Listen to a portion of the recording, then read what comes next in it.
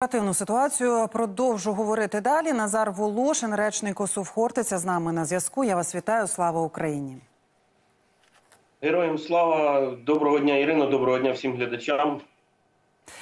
І почнемо. Ну, і хочу привітати перш за все усіх журналістів, які як і на інформаційному фронті, так і на військовому фронті доєдналися до захисту нашої батьківщини. Тому усіх зі святом, а полеглим нашим журналістам і військовим вічна пам'ять. Так, дякуємо. Е, і до справи за даними генштабу, інтенсивність боїв навколо Покровська зросла удвічі. Е, Ціль росіян, як ви казали напередодні, це траса Покровськ-Костянтинівка. Розкажіть нам, е, вочевидь, що вони тиснуть не з одного напрямку. З яких саме і яка власне їхня тактика? Ну наразі ж Покровський напрямок на усій лінії бойового зіткнення залишається найбільш гарячішим. Там за минулий за минулий тільки тиждень відбулося майже 220 атак, і за минулу добу тільки 32. Уже на ранок сьогодні е, триває 4 атаки. Перепрошую, було відбито, і 6 боєздіткнень ще тривають. Там наразі сили оборони завдають окупантам як і вогневе ураження, так і е, намагаються протистояти противнику. Звісно ж, він там тисне якраз на тому напрямку. Основні зусилля російських військ ну зосереджуються певно на намаганні такому, щоб прорвати нашу оборону і розвинути в майбутньому наступ. е, Ну такий наступ, скажімо, в напрямку населених пунктів, це Покровськ, Мирноград та Селідове. Адже ну в районі Нетайлова ситуація характеризується якраз високою активністю ворога. Ворог також не припиняє спроб наступати на інші позиції. Ну і звісно, намагається вийти до великих якраз населених пунктів Курахове та Покровськ, щоб розвинути наступ якраз ну західніше від Авдіївки і Мар'їнки. Ну і звісно, після Очеретиного вони якраз рвуться до магістралі Покровськ-Костянтинівка. Можливо, у них є така мета захопити Покровськ та життєво важливу трасу якраз на Костянтинівку. Це на тому напрямку. Пане Назаре, а чи от ви кажете, що вони готуються до наступу? Чи є ознаки збільшення чисельності російських угруповань в районі Очеретиного або ж Мар'їнки, або одночасно, і чи вистачає їм ресурсів?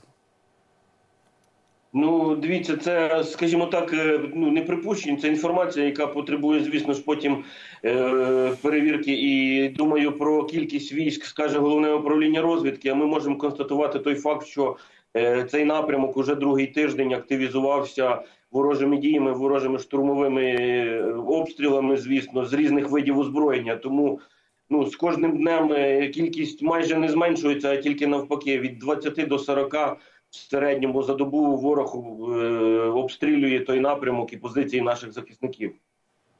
Чи можете ви говорити про те, які підрозділи там зосереджені? Тому що я так розумію, що е, деяких росіян вдається нашим е, силам оборони взяти в полон. То що це за підрозділи, і е, чи можна говорити про судячи з цих підрозділів, які атакуючі заходи будуть проводитися за рахунок чого?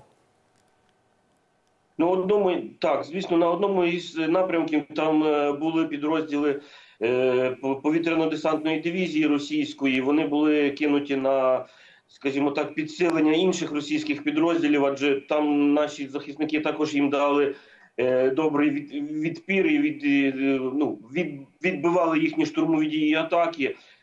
Про інші підрозділи, які присутні російські, я казати поки що не можу. Однак є певні такі підрозділи, які вони виводили для доукомплектування після того, як сили оборони їх розбили, або доукомплектування і переоснащення, пере, ну, перегрупування. Був певний е, період, коли вони не застосовували. Ми дізнавалися саме з цих напрямків е, бронемашини. Е, тобто, я так розумію, що був брак, е, і в основному це була піхота. Е, малими тактичними групами росіяни діяли. Нині, якщо ми говоримо про озброєння, яке росіяни застосовують на цьому відтинку, і чи вдаються вони до тої тактики, коли, наприклад, е, штурмуючи Авдіївку, Бахмут, терплять, коли піхота стикалася з опором і терпіла поразки, вони переходили до тактичної авіації. Чи є такі факти саме на цьому напрямку Покровському? Ну, ви знаєте, останнім часом ворог використовує різну тактику на цьому напрямку. І також е, спочатку було застосування такого, скажімо, активні штурмові дії ворог проводив на мобільними групами, потім перегруповувався, використовував і тактику і бронемашин, і е, також в підтримку як і артилерії, мінометів. Ну і звісно ж, е, підтримку своїх штурмових дій ворог застосовував авіацію. Ну останнім часом. Е, Ворог взагалі застосовує авіацію на всіх е, напрямках східної операційної зони, і, скажімо так, на більшості напрямків він активізував застосування якраз авіації. Тому і на тому напрямку безпосередньо було за минулий місяць е, збито тільки сім ворожих літаків. За травень місяць було збито сім Су-25, два зазнали пошкоджень. Тому такі от цифри кажуть про те, що саме ворог ну не припиняє спроб і, звісно ж, застосовує як і авіаційну компоненту, яка скидує чимало керованих авіаційних бомб саме на позиції наших захисників. Ну і звісно на цивільну інфраструктуру, руйнуючи все на своєму шляху.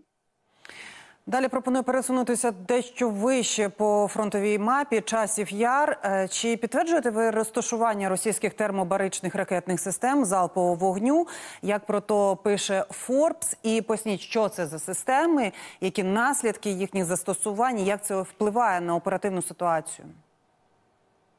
Ну скажу так, що підтверджувати чи спростовувати не буду. А інформація має місце на життя, що ворог застосовував якраз по місту часів яр е, реактивні системи залпового вогню із термобаричними боєприпасами, скажімо так, і, в це такі боєприпаси, які ну знищують і випалюють все на своєму шляху. Тобто, щоб е, вони при, примушують до того, що нашим захисникам не буде там, де захищатися, тобто руйнуючи все після, після того, як по цьому попрацює, звісно ж, е, авіація ворожа, вони також і застосовують і такі боєприпаси. Ну а на тому напрямку це час, часоуярівський напрямок. Ворог не полишає спроб. Уже який тиждень підряд е, не припиняє спроби проводити обстріли. Лише от за минулий тиждень ворожа армія провела 8350 обстрілів позицій наших захисників якраз на тому напрямку із різних видів озброєння. А на місто часів яр минулого тижня припало 2300 обстрілів також з різних видів озброєння. На сьогоднішню добу вже зареєстровано понад 1100 мінометних та артилерійських обстрілів, і саме на часів яр припало 302 обстріли. Більша частина припадає якраз на південну частину міста часів яр. Ну і на ранок було зафіксовано 6 авіаударів. Ворожа авіація скинула 5 кабів на тому напрямку. Також було проведено три штурми в райони Краскордюмівки та Кліщіївки, де ворог застосовує е, переважній більшості штурми з бронетехнікою. Ну і в ході цих штурмів було знищено 75 окупантів та 92 отримали поранення. А що відбувається в районі селища Калинівка, де силам оборони вдалося відкинути росіян у контратаці? Хочу уточнити щодо часу яру, чи є намагання росіян заходити в саме місто, і чи можна казати, що 100% місто контролюють сили оборони? Скажу по місту часів яр, що звісно сили оборони контролюють місто. Ворог е, під надійним вогневим контролем. Звісно, він намагається заходити час від часу, заходити на е, кана до каналу, підходити до мікрорайону Новий та мікрорайону Канал до кварталу Новий. Перепрошую.